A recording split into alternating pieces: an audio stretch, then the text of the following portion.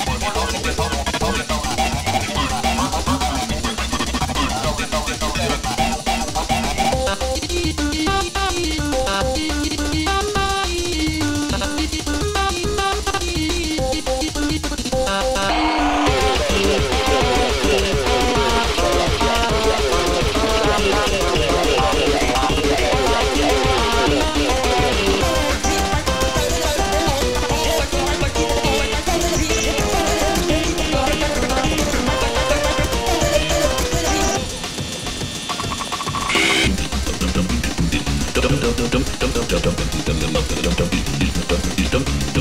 dum dum dum